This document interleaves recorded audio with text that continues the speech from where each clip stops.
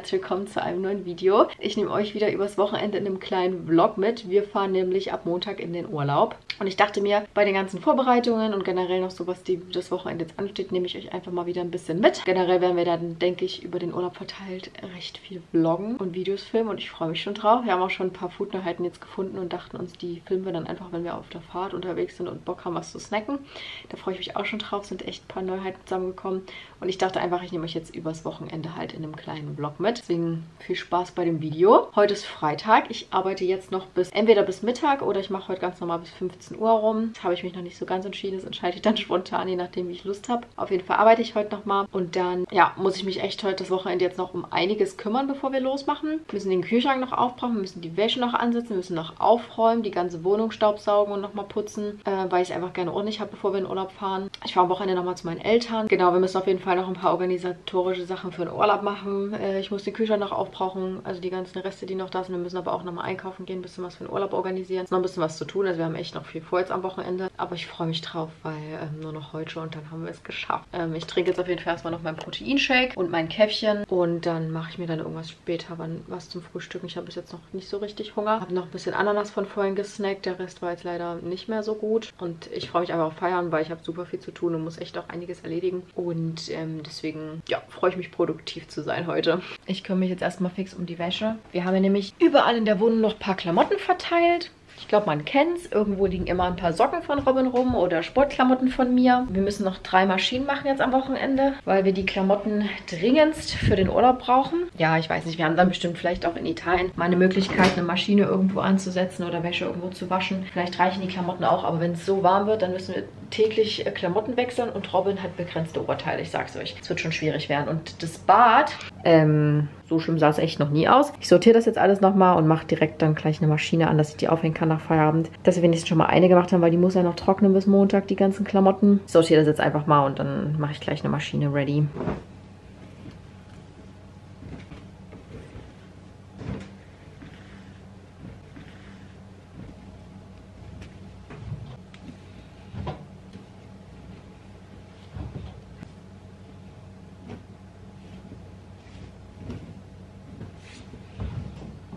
Mein Paket ist angekommen. Ignoriert bitte, wie ich aussehe. Heute ist wirklich echt Gammel-Look. Ich habe bei Purelay bestellt.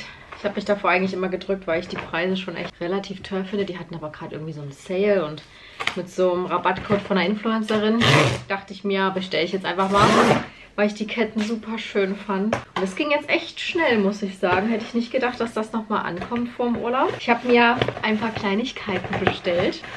ich weiß nicht, geht es euch auch so, dass wenn ihr Geburtstag habt, euch nichts einfällt, was, was ihr euch wünschen könntet und das ganze Jahr über verteilt hat man so viele Ideen und so viele Sachen, die man sich gerne kaufen möchte. That's me. Die Schachteln sind richtig schön. Und zwar habe ich mir eine Kette, glaube ich, bestellt. Noch eine Kette und, boah, richtig schön. Und äh, zwei Anhänger. Ah, ja, die ist richtig schön. Jetzt habe ich mir so eine Perlenkette bestellt.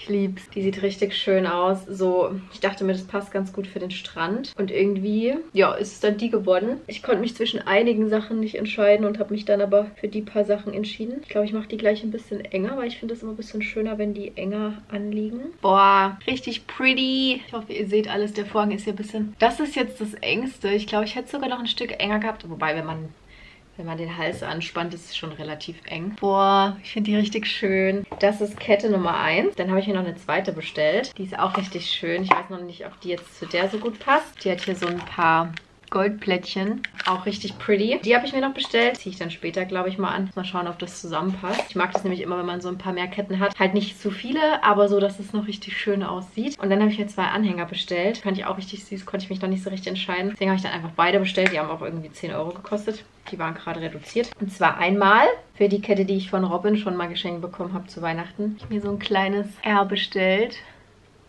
Sieht man's? Da. Ähm, Fand ich irgendwie ganz cute. Ja, dass ich das quasi so an die Kette mache, die ich von ihm geschenkt bekommen habe. Da muss man aber echt aufpassen, dass man die nicht verliert. Und dann habe ich mir noch ein anderes Charm bestellt. Das ist auch richtig süß. So eine kleine Blume. Würde sogar zu der Kette passen. Fand ich irgendwie ganz niedlich. Oder halt an die Goldkette, die ich von Robin schon habe. Äh, sieht man es? Jetzt. Da. Irgendwie auch ganz süß. Konnte ich mich tatsächlich, tatsächlich nicht entscheiden. Jetzt sind es die vier Sachen geworden. Also richtig niedlich. Unbezahlte Werbung, wie gesagt, alles selbst bezahlt, aber ich wollte es mal testen. Und es ging tatsächlich echt schnell. Und ich bin gespannt, ob das wirklich das hält, was immer alle versprechen und das den Urlaub übersteht. Weil ich glaube, ich habe dann keinen Bock am Strand immer die ganzen Ketten abzulegen, sondern ich finde es eigentlich ganz schön, wenn man dann so äh, Beachgirl-mäßig ähm, ganz viel Schmuck hat überall. Finde ich irgendwie ganz schön. Jo, die lasse ich gleich dran. Die sitzt richtig gut. Happy, dass es noch vom Urlaub angekommen ist. So, ich habe mir jetzt ein schnelles Mittagessen gemacht. Noch eine richtige Resteverwertung, halber Burrata. Mit noch so Tomatensalat, den ich im Kühlschrank hatte. Den gibt es jetzt noch dazu. Also einfach nochmal ein bisschen gepimpt mit frischem Rucola, einer Tomate noch, ein bisschen Burrata oben drauf. Und dazu gibt es noch die letzte Laugenstange, die wir da hatten. Und eine Tasse Tee. Wir haben uns einen Pizzagrill gekauft. Oder Pizzaofen oder wie auch immer. So ein Mini-Gassteinofen-ähnliches Teil. Gab es im Aldi. Robin hat den gerade geholt. Und bis jetzt sieht es ganz nice aus. Oder? So richtig hier so mit so einer Vorrichtung. Wie geht die auf? Einfach nur so? Klappen. Haha. Du an der Seite hast du die Gasline. Da kommt dann überall Feuer raus. Mit Thermometergedöns. Und ja, müssen wir bei den Eltern mal testen. Stimmt, hier sind noch solche, hier ist noch so eine Pizzaschaufel dabei und ein Stein. Pizzastein. Haben wir eigentlich schon einen da, aber der funktioniert bei uns nicht so gut. Wir haben den schon mal ausgetestet. Und der hat ja auch direkt die Form, die dort reinpasst. Ganz cool. Wir ähm, werden es jetzt zwar vor dem Italienurlaub, denke ich, nicht mehr testen können. Aber vielleicht probieren es meine Eltern mal aus und berichten dann. Beziehungsweise, ja, haben wir dann nachher noch Zeit. Ich hoffe, dass der ganz nice ist und es äh, hält, was er verspricht. Nice. Wir waren nochmal schnell bei DM und haben das Nötigste gekauft. Also zumindest die Sachen, die noch gefehlt haben. Und zwar einmal Rasiergel, dementsprechend auch Rasierklingen. By the way, habt ihr Erfahrungen mit so Lasergeräten? Ich hätte mich überlegt gehabt, mir so ein Teil zu bestellen. Ich weiß gar nicht, wie das heißt. Wenn ich den Namen finde, blende ich euch den mal hier ein. Den hat eine Freundin von mir und die meinte, ähm, die kann das empfehlen, weil man macht das, ich weiß nicht, sechs oder zehn Wochen hintereinander also einmal in der Woche immer und dann irgendwann sind die Haare halt weg. Die können dann zwar wiederkommen, aber halt nur ganz leicht und dann macht man das einfach im nächsten Sommer halt wieder, aber halt vielleicht nicht so oft oder nicht so viel. Aber zumindest hat man dann eben den ganzen Sommer Ruhe, was ähm, Beine rasieren und so weiter angeht. Und ich finde das äh, super nice. Erstens mal ist es halt auch wieder ein bisschen nachhaltiger und dann spart man sich halt das ständige ätzende Rasieren. Also wenn ihr da Erfahrungen habt, lasst mich es gerne mal wissen. Aber ich bin mir halt immer ein bisschen unschlüssig, ob das wirklich so gesund ist, die Haut so zu lasern. Ja, oder ob man das vielleicht professionell im Laser-Dings, also in so einem Studio machen soll, wo die das halt direkt auch machen. Keine Ahnung, ich weiß nicht. Auf jeden Fall hat sich Robin auch noch Rasiercreme geholt. Dann habe ich mir noch ein Shampoo geholt, weil ich nehme ja eigentlich festes Shampoo immer, aber das finde ich für die Reise irgendwie ein bisschen schwierig. Deswegen habe ich jetzt einmal so ein ultrasensitiv Shampoo geholt, was möglichst ähm, schonend ist. Dann haben wir zweimal Sonnencreme mitgenommen. Da bin ich auch ein bisschen unschlüssig, ob die so gut sein soll. Ich habe jetzt einfach die von ja, DM genommen. Äh, da wollte ich mich eigentlich auch mal ein bisschen informieren, weil da ist ja auch so ein bisschen Streitthema, ist Sonnencreme so gut und wenn ja, welche und wenn ja, wie oft und wie viel und keine Ahnung. Ja, ich weiß nicht, wir haben jetzt einfach mal zwei davon geholt. Sicher ist sicher. Und dann noch zweimal Mascara und ich wollte eigentlich noch Taschentücher holen und Feuchttücher, aber das hole ich dann im Rewe noch oder so oder keine Ahnung. Wir müssen eh noch mal einkaufen gehen. Das habe ich jetzt nicht gefunden auf die Schnelle. Und wir wollten eigentlich auch ein Foodnerheiten-Video drehen, wenn wir auf der Fahrt unterwegs sind. Ähm, oder vielleicht schaffen wir es auch noch am Wochenende. Ich habe nämlich hier echt viele Foodnerheiten gefunden und dachte mir, das schreit irgendwie nach einem Foodnerheiten-Video, da kann ich nicht dran vorbeigehen. Deswegen habe ich hier einmal ähm, Hanuta Tiramisu mitgenommen. Sieht richtig geil aus. Die habe ich spontan im Rewe entdeckt. Einfach so Burrito-Style-Chips. Dann habe ich noch gesehen, gibt es neue von diesen Crunchy-Ringeldingern in Kokosnuss. Toffifee Kokosnuss gibt es auch noch und es gibt auch noch den Hanuta-Riegel in Kokosnuss. Die drei Sachen wollte ich eigentlich noch kaufen, mal schauen, ob ich noch irgendwo finde. Äh, und es gibt von Almigold einfach einen Bubble Tea Joghurt, habe ich letztens irgendwo gesehen. Vielleicht finde ich den auch noch, das wäre richtig cool, weil der klang sehr nice. Aber da muss ich nochmal auf die Suche gehen, ob ich die finde. Und von Monte gibt es ja auch zwei neue Energy-Sorten. Ich glaube zwei, ich weiß es nicht. Die wollten wir auch noch testen. Und die habe ich auch noch gefunden. Raffaello Kokos Ananas. Bin ich auch sehr gespannt. Schreit nach einem guten halt Video, würde ich sagen. Also wenn es schon online ist, schaut gern vorbei. Die haben wir getestet. Es sind super geile Sachen dabei. Ich werde das ganze Zeug jetzt mal irgendwo hinstellen, wo wir es schnell wiederfinden. Am besten im Bad schon mal so alles ein bisschen raussuchen, was wir alles so brauchen, dass wir nichts vergessen. Und dann ähm, schneide ich Videos. Äh, wir haben jetzt schon die Wäsche aufgehangen. Ich gehe dann später einkaufen oder eventuell heute Abend noch ins Fitti. Aber die erste Waschmaschine ist schon mal fertig. Das ist ganz gut. Ja, also es ist schon einiges noch zu tun.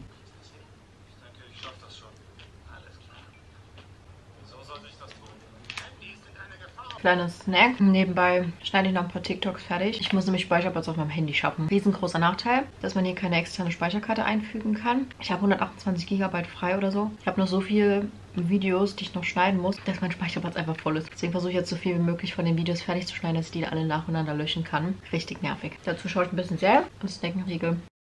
Einen wunderschönen guten Morgen, ihr Lieben. Es ist Samstag. Wie man unschwer erkennen kann, war ich gerade duschen. Äh, ich habe gestern Abend eigentlich nur noch Video geschnitten, war dann gestern nicht mehr im Gym. Ich gehe eventuell noch Sonntag oder halt dann nicht mehr vom Urlaub. Ich will mich damit jetzt auch nicht so stressen. Wir haben genug andere Sachen noch zu tun. Ähm, wir sind jetzt schon seit halb zehn oder so wach. Ich weiß gar nicht, wie spät es jetzt ist. Auf jeden Fall habe ich jetzt eine Runde Sport gemacht, war duschen und jetzt bereite ich gerade Frühstück vor oder wollte jetzt gerade Frühstück vorbereiten und mache noch so eine kleine Resteverwertung. Hinten koche ich nämlich schon die ganzen Eier, die wir noch da haben, dass wir die für die Fahrt ready haben. Und ich verbrauche jetzt noch ein paar Bananen und ein bisschen Obst für einen kleinen Smoothie. Wir haben nämlich hier noch reichlich Bananen da, die ich jetzt einfach mal verwerte und ähm, mal wieder einen kleinen Smoothie mache. Eigentlich hatte ich mal wieder richtig Bock auf so einen Schoko-Bananen-Smoothie, aber wir haben keinen Backkakao da. Und ich muss noch ein bisschen meine Beeren aufbrauchen. Deswegen jetzt so. Auf jeden Fall mache ich da erstmal eine Banane rein. Aus denen hätte man richtig gut Bananenbrot backen können, fällt mir gerade ein. Dann habe ich noch ein bisschen grünen Spinat da. Grünen Spinat. Noch ein bisschen Spinat. Dazu mache ich Wasser erstmal. Das muss nämlich eigentlich unten rein. Dann haben wir noch reichlich Quark. Den baller ich jetzt auch einfach mal hier rein. Ist noch relativ viel. Aber dann ist der immerhin auch leer. So, dann knallen wir ein bisschen Pfeffer rein und Kurkuma. Auf jeden Fall noch ein bisschen Wasser und ein paar geschrotete Leinsamen. Da steht ja aber gerade drauf. Kurzer Kameraswitch für die guten Omega-3-Fette. Pretty. Unser Tiefkühlfach ist nämlich richtig frostig mittlerweile. Das müssen wir unbedingt mal abtreiben. Dann noch ein bisschen Ashwagandha. Sparen wir uns nämlich heute die Tabletten. Und dann noch was von dem Chaga-Pulver. Ich bin sehr gespannt, ob man das krass rausschmeckt oder wie das riecht. Hm, hat irgendwie so einen undefinierbaren Geruch. Sieht ein bisschen aus wie Kakao. Äh, und davon ein Teelöffel täglich mit 250 Milliliter Wasser einnehmen. Okay, weiß ich jetzt nicht, ob ich das hier an den Smoothie ranmache. Mache ich vielleicht einfach an mein Wasser, in mein Wasserglas. So, und das war es eigentlich schon. Ich glaube, mit den Beeren kann ich dann vielleicht sogar noch ein paar ranhauen. Mixen wir es. Richtig perfekt geworden. Und ready ist unser Frühstück.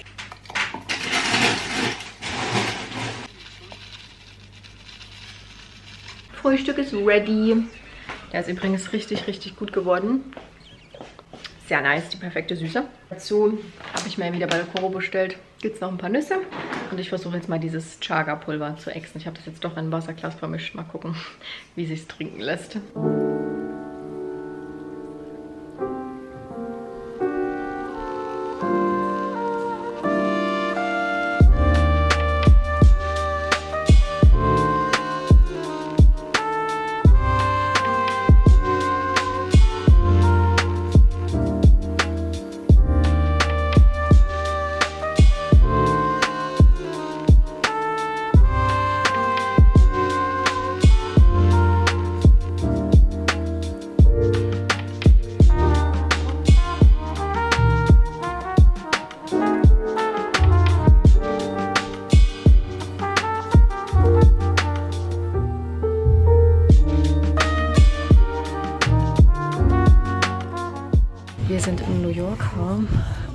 Bisschen was shoppen. Und hier gibt es so viele schöne Sommerkleider und auch Kleider, die ich im Büro anziehen kann.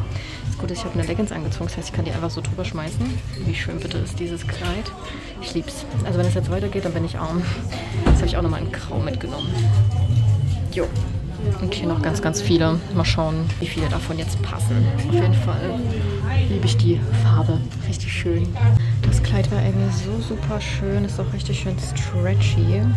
Fällt hier unten richtig schön, aber das hat so einen riesen Ausschnitt. Das ist leider, ja, too much. Ich finde, dafür braucht man halt Oberweite. Und das sieht bei mir einfach richtig plump aus. Das ist schon eine 36, also eine Nummer kleiner wäre dann wahrscheinlich schon wieder zu eng. Ja, schade. Das Kleid finde ich eigentlich richtig schön. Das ist nicht so Robin sein Stil, aber ich finde es ganz cute.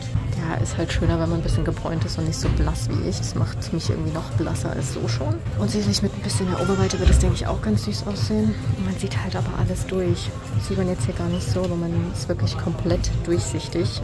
Ähm, das heißt, es würde wirklich nur am Strand in Frage kommen. Aber irgendwie finde ich es richtig süß. Ich glaube, ich nehme das mit. Richtig schön.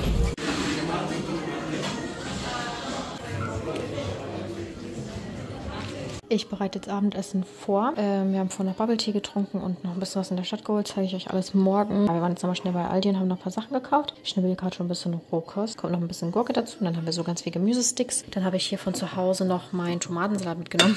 Ich glaube, ich habe in letzter Zeit so viel Tomatensalat gegessen wie schon lange nicht mehr. Noch mit dem restlichen halben Burrata und Feta hatten wir noch da und Rucola. Genau, Balsamico-Dressing wie halt immer. Ähm, richtig gut, den stelle ich jetzt gleich in den Kühlschrank. Dann habe ich hier noch einen Gurkensalat gemacht. Den lasse ich jetzt auch noch ein bisschen im Kühlschrank durchziehen. Und hier drüben bereite ich jetzt so eine richtig schöne Snackplatte vor. Mit hier solchen Salzcrackern, die wir geholt haben. Leider gab es keinen Ofenkäse mehr. Deswegen haben wir jetzt hier so Grillkäse gekauft, aber der ist in so Folien. Ich denke, das wird auch ganz gut werden, so Feta. Die machen wir dann hier noch mit oben drauf. Dann mache ich gerade noch ein paar Weintrauben fertig. Und dann haben wir auch noch so Käse am Stück, Oliven und eingelegte Peperoni, Gewürzgurke und sowas. Servieren wir dann alles zusammen. So ein richtig schöner Antipasti-Abend. Freue ich mich drauf. Das bereite ich jetzt noch schnell vor. Noch ein bisschen Brötchen geholt. Ich habe hier eine Laugenstange für meine Schwester mitgenommen. Oh, richtig geile Walnussbrötchen. Das allerbeste frisch gebackenes Chia Brot vom Aldi. Boah, richtig gut. Es gab leider kein anderes Baguette mehr, deswegen jetzt Chia Butter. Wird richtig nice.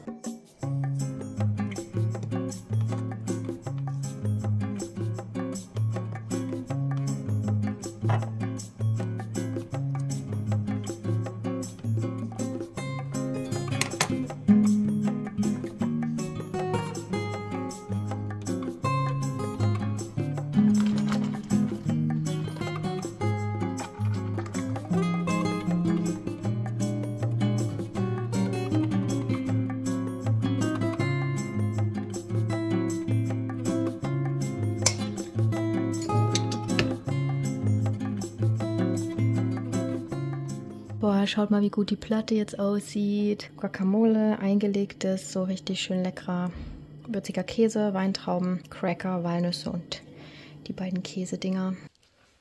Holst du mal noch das zweite Kissen, Papa? Boah, geil. Hello, ihr Lieben, back at home. Ich war ja äh, von gestern zu heute bei meinen Eltern. Es ist jetzt schon nicht um zwei oder so. Wir haben ganz entspannt gefrühstückt. Jetzt bin ich nach Hause gefahren. Ich hatte Porridge zum Frühstück. Ja, und dann habe ich noch schnell, bin ich mit meiner Mom noch kurz unterwegs gewesen, habe meine Schwester zu einer Freundin gefahren. Und jetzt bin ich zu Hause. Es ist jetzt, wie gesagt, gleich um zwei oder so. Ich wollte euch ja noch kurz zeigen, was ich für Klamotten gekauft habe. Tatsächlich, eigentlich bin ich nicht so ein Fan von Fast Fashion und ich gehe auch super selten shoppen. Aber wir haben wirklich noch ein paar Sachen gebraucht. Robin hat leider nichts gefunden. Ich habe ja tatsächlich eigentlich fast alles gefunden, was ich brauchte, außer jetzt eine Sonnenbrille. Da hole ich mir dann einfach in Italien eine. Da nehme ich auch einfach eine ohne Stärke, nur dass man so ein bisschen Schutz wenigstens hat und vielleicht noch eine Cap oder so. Ich habe tatsächlich auch eine Cap gefunden, die war richtig schön. Die war so hellblau, babyblau. Aber die hat einfach 40 Euro gekostet und das war mir irgendwie ein bisschen zu viel dafür, dass ich die Marke nicht mal kannte. Deswegen habe ich die dann da gelassen. Auf jeden Fall ähm, waren wir eigentlich bloß bei New Yorker und bei Bershka und bei Pull&Bear haben wir dann beide nichts gekauft. Und bei Bershka habe ich hier so eine richtig schöne Shorts gefunden äh, mit so Cutouts und das Nice, was ich halt finde an der. Die hat an den Beinen relativ locker ist, also das schneidet nicht so in die Oberschenkel ein. habe ich nämlich eine noch da. Und auch von, vom Farbton her finde ich die richtig hübsch. Dann habe ich die einfach mit einmal mitgenommen und dann hier noch so eine andere, so eine leicht, die hat so einen richtig leichten Stoff, so eine Shorts. So eine ähnliche habe ich auch schon, die mache ich immer, ziehe ich immer zum Sport machen an. Aber die finde ich vom Schnitt her noch ein bisschen schöner. So richtig schön luftig. Äh, das will ich jetzt auch alles noch waschen, dass ich das mit in Urlaub nehmen kann. Ich habe nämlich auch noch hier zwei Badeanzüge mitgenommen. Eigentlich ähm, wollte ich noch ein Bikini kaufen, aber es hat sich irgendwie angeboten, dass ich noch einen Badeanzug gefunden habe. Dann kann ich nämlich ganz entspannt einfach ähm, ja, mit einem Badeanzug auch mal ans Meer und fühle mich dann nicht so unwohl mit meinem Bauch. Auf jeden Fall ähm, bindet man den quasi hier so. Ich kann euch ja in Italien dann mal zeigen, wie es angezogen aussieht. Also ist halt hinten rückenfrei und dann wie gesagt halt ein Badeanzug, also bauchbedeckt. Der hat gekostet 18 Euro, fand ich jetzt voll okay. Habe ich einmal in schwarz mitgenommen. Ja, den wollte ich eigentlich in weiß haben, aber in weiß war der einfach durchsichtig. Also man konnte einfach ab Bauch an einfach alles durchsehen und das fand ich jetzt nicht so nice. Deswegen habe ich den halt in schwarz mitgenommen und dann habe ich noch so einen normalen, so ein bisschen sportlicheren. Der ist auch so ähnlich, auch wieder ein bisschen rückenfreier, aber nicht ganz so weit wie der andere. Ja, der ist halt basic und weiß. Fand ich auch richtig schön. Und dann waren wir noch mal bei New Yorker und da habe ich ein paar Kleider eingesagt. Da muss ich sagen, da wollte ich eigentlich noch ein bisschen mehr stöbern, aber New Yorker hat jetzt nicht so die beste Qualität. Und ich habe eben nur ähm, gesehen auf TikTok, dass da super viele Sommersachen gerade ähm, im Angebot sind und auch die richtig schön aussehen und dass die richtig schöne viele Kleider haben. Und ich suche ja immer gerne nach ein paar so knielangen Kleidern für die Arbeit, dass ich halt ähm, ja nicht in Hotpants auf Arbeit gehen muss, aber auch nicht in der Jeans. Und ich habe bis jetzt nur relativ ärmellange Kleider. Und deswegen bin ich voll froh, dass ich jetzt noch welche gefunden habe, die auch alle relativ günstig waren. Die habe ich einfach alle mal mitgenommen. Einmal so ein Spaghetti schwarzes Top Äh, ja, Kleid, Topkleid. Das finde ich, ja, das ist mein Favorite. So ein schönes hellblau. Ich ziehe in letzter Zeit gerne so leicht baufreie ähm, T-Shirts an und in so schön hellen Farben. Und irgendwie finde ich dieses Babyblau, hellblau ist irgendwie meine Farbe. Ich weiß auch nicht warum. Jetzt habe ich das einfach in so einem richtig schönen Kleid gefunden. Ich liebe es, mein Favorite. Und dasselbe habe ich nochmal in so einem hellgrau mitgenommen. Und dann, was ich auch richtig schön fand, das ist aber tatsächlich nicht so Robin-Style, aber auch mit meinen Favorites. So ein richtig schönes Sommerkleid. Das Einzige, was halt schade ist, dass ich noch nicht so den Summer Body habe, also nicht so gebräunt bin. Ich finde es immer ein bisschen schöner, wenn man so leicht bräunliche Haut hat schon und nicht so, ich bin halt einfach ich bin so weiß, äh, das ist schon fast ein bisschen zu blass und da wirken so helle Farben halt irgendwie nicht. Aber das ist super schön. Also ich finde es richtig schön. Es gibt mir so richtig, ach, weiß ich nicht, Italien-Vibe. Sieht so aus in so einem Blümchen-Optikmuster. Ich finde, das wirkt immer sehr schnell Granny-mäßig, aber bei dem irgendwie null. Boah, jetzt habe ich auch gerade festgestellt, das ist ja noch nicer. Ich habe nämlich das Kleid angezogen, einfach so drüber geworfen und dann bin ich nicht mehr rausgekommen. Aber das passt perfekt. Also eine Nummer größer wäre nicht gegangen, weil ähm, dann ist das hier oben zu locker. Träger sind auch relativ locker, muss ich sagen. Die haben so ein Gummi, aber die sind relativ, naja, es hängt schon relativ weit unten. Aber jetzt habe ich hier gerade gesehen, dass hier einfach ein Reißverschluss an der Seite dran ist. Das, ähm, ja, löst alle Probleme. Also umso besser, dass ich das mitgenommen habe. Ich war nämlich echt ein bisschen skeptisch dann, aber Boah, das ist so schön. Es hat hier so einen richtig schönen Cutout an der Seite und fällt ganz locker unten. Und ich glaube, für den Sommer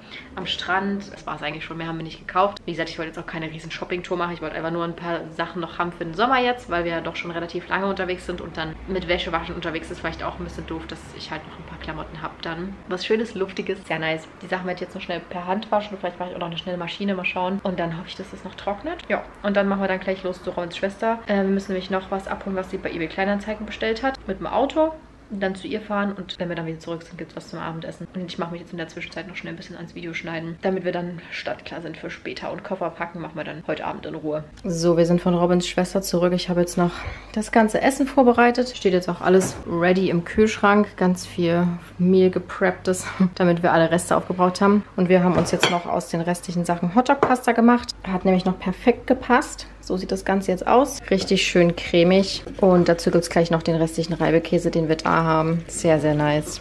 Freue ich mich drauf. Und dann ist eigentlich alles fertig, außer dass wir noch packen müssen und den Geschirrspüler noch machen müssen. Wir packen jetzt Koffer. Ich bin so am struggeln, was ich alles mitnehmen soll, weil ich immer einplanen will, dass ich ja genug Outfits mit dabei habe. Ist immer so ein richtiger Struggle packe auf jeden Fall auch ein paar lange Hosen ein, für alle Fälle. Ich glaube, da habe ich jetzt auch genug. Jetzt kommen die ganzen kurzen Hosen. So Leggings, Shorts, Hotpants in Massen, weil ich immer nicht weiß, was ich am liebsten anziehen will und was zusammen matcht. Ich hoffe, dass der Koffer ausreicht.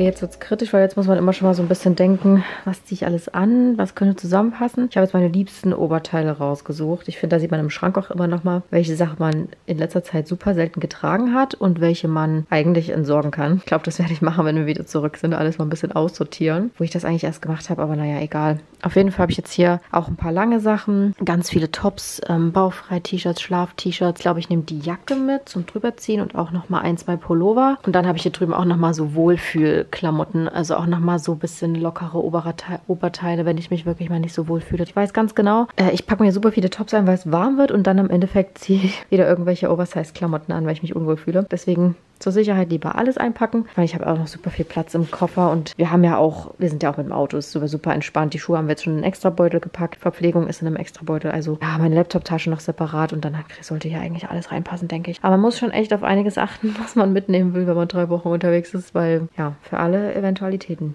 Naja, egal. Pack jetzt mal fix ein.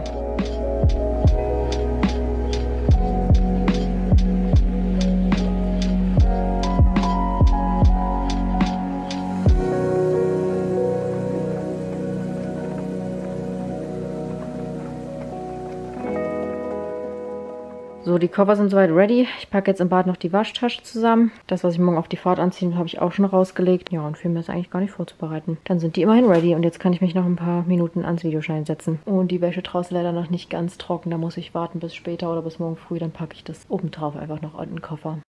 Guten Morgen, ihr Lieben. Ignoriert bitte, wie ich aussehe. Äh, wir sind gerade aufgestanden und jetzt schon noch die restlichen organisatorischen Sachen machen. Robin räumt jetzt schon die Wasserkästen von seinem Auto in mein Auto und schafft den Müll runter. Ich frühstücke hier gerade noch, damit ich die Dose, die ich erst mitnehmen muss, habe ich mir jetzt überlegt, esse ich jetzt schon was, habe ich auch schon mega Hunger. Ich muss noch zwei, drei Sachen aufwaschen, die wir jetzt gerade noch genutzt haben. Hier ist schon alles ready. Das kommt dann noch irgendwie in den Korb und in diese Kühltasche. Nehmen wir noch mit für die Fahrt an Essen. Genauso wie das Zeug, was hier noch im Kühlschrank drin ist. Genau, dann ist das ready. Ich habe jetzt gerade noch ein Video hochgeladen, weil ich mir dachte, wenn das WLAN im Hotel nicht so gut ist, habe ich da auch ein bisschen Schwierigkeiten, Videos hochzuladen. Deswegen mache ich das jetzt noch. Das habe ich mich gestern noch fertig geschnitten. Gehe jetzt noch schnell die Blumen auf den Balkon. Und dann müssen wir hier noch die Wäsche wegräumen und die Koffer zumachen. Weil ich habe jetzt heute früh noch die restliche Wäsche gelegt. Die muss ich noch auf die Koffer richtig verteilen. Dann können wir die zumachen und das wegräumen. Dann ist es ja auch ready. Und dann geht es eigentlich gleich los. Wir müssen noch tanken gehen und nochmal Ölstand prüfen. Also generell nochmal halt an die Tankstelle fahren. Und dann geht's los. Drückt uns die Daumen, dass wir gut durchkommen. Ich melde mich dann die nächsten, ja, Tage in den Urlaubsvlogs. Ich möchte also an der Stelle jetzt hier das äh, Video beenden. Ich hoffe, ich konnte euch ein bisschen unterhalten und ähm, es war vielleicht ein bisschen spannend, euch über das Wochenende jetzt mitzunehmen. Wenn es euch gefallen hat und ihr gerne öfter Vlogs sehen wollt, lasst mich gerne wissen. Gebt dem Video gerne einen Daumen nach oben und ansonsten seid gerne im nächsten Video wieder dabei. Ich würde mich freuen. Jetzt kommen demnächst Urlaubsvlogs. Ich hoffe, ihr seid ready für Italien-Spam. Ich hoffe, ich kann die Zeit nachschneiden, äh, wenn wir aus dem Urlaub wieder zurück sind und euch dann hochladen, dass es nicht alles zu zeitverzögert ist. Und ansonsten, ja, sehen wir uns im nächsten Video dahin. Bye!